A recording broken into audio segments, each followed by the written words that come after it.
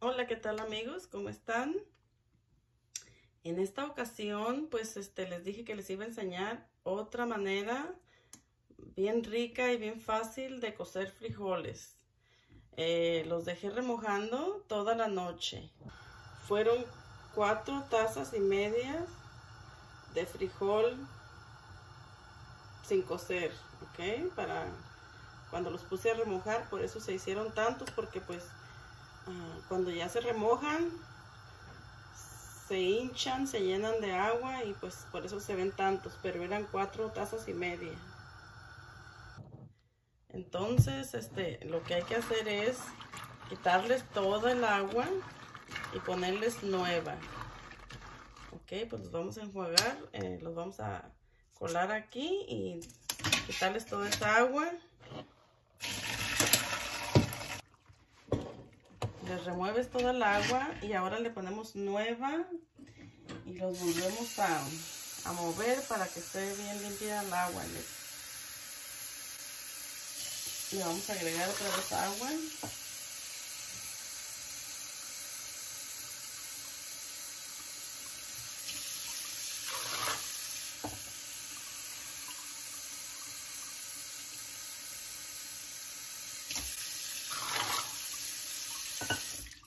Pues de esta manera te quedan uh, más ricos, se cocinan más rápido, eh, causan menos este gas, así de que pues es mejor hacerlos así.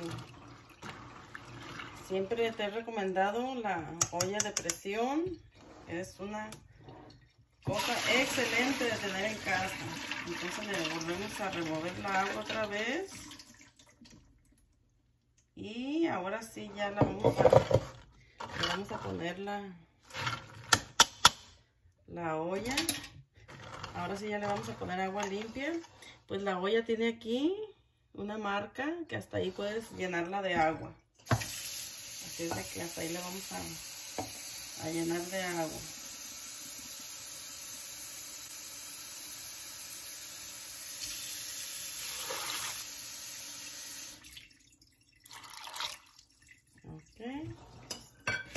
Hasta ahí va, estar de agua.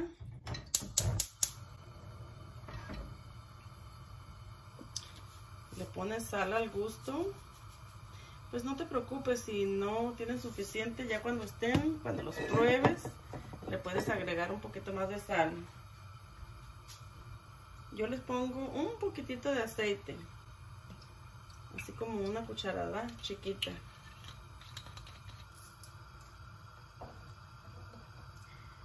Le vamos a poner dos ajos este, picados en cuatro, en cuatro pedazos. Pues el ajo le da muy buen sabor y pues ya sabes que el ajo es excelente para la salud. Así de que pues tiene varias, hay varias razones por las cuales agregarle el ajo. Y media cebolla mediana.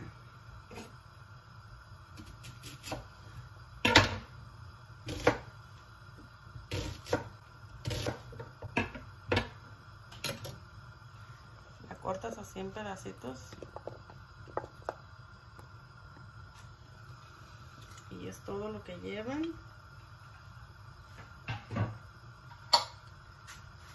Este, no le tengas miedo a las a las ollas de presión. Si las cierras bien, bien tapadita, no, no pasa nada, no explota ni nada explotan cuando tú las quieres abrir, cuando están llenas de vapor por dentro. Entonces eso sí tienes que esperar a que no tenga el, vapor. Pero por lo regular, este, ah, tienen un, esta mía tiene aquí, esto se va a subir arriba cuando ya tenga suficiente vapor. Entonces cuando ya se baja, quiere decir que no hay suficiente vapor y es cuando ya la puedes abrir. Una. La otra es moverle aquí y sale todo el vapor. Lo vas dejando, dejando que salga todo el vapor. Pero en realidad pues hay que dejarla reposar 20 minutos después de que ya terminó de cocinar. cuando ya terminó de, de cocer, la apagas y la dejas reposar 20 minutos. Le mueves aquí a ver si ya no sale más vapor y entonces sí ya la puedes abrir. Muy sencillo. Te ahorras bastante tiempo y, y también te ahorras bastante gas porque pues los frijoles se tienen que cocer como por una hora o si no los has remojado hasta más. Aquí los vamos a dejar 15 minutos y después como reposan para abrir la olla 20 minutos se sigue este como hay mucho vapor adentro se sigue cociendo los frijoles así es de que pues son los son los 15 minutos y 20 de reposo sin gas así de que lo único que vas a gastar gas es por 15 minutos cuando escuches ese ruido y este veas que esto se está moviendo quiere decir que ya empezó a hervir. Hay que contarle 15 minutos. Hay que bajarle también la llama a entre medio y bajito.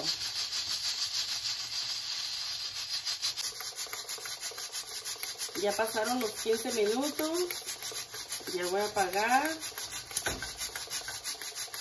Y la vamos a dejar reposar de 20 a media hora para que aquí se baje este. Eso quiere decir que ya el vapor se terminó.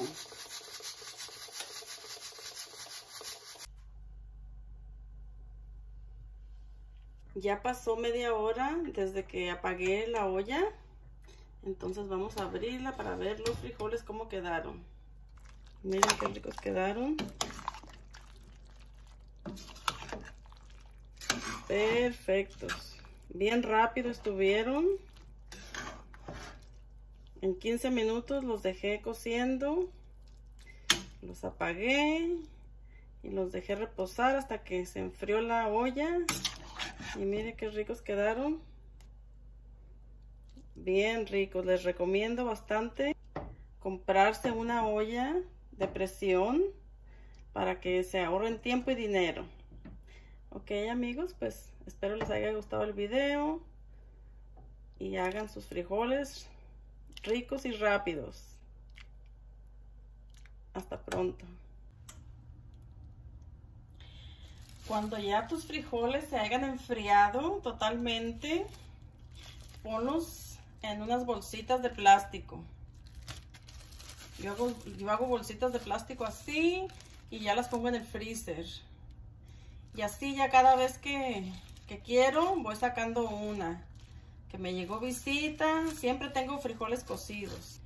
Por eso siempre cozo este, lo suficiente para tener frisados todo el tiempo. Cuando ya veo que solamente me queda una, una bolsa, pues ya hago nuevos para siempre tener. No quiero que me falten nunca frijoles.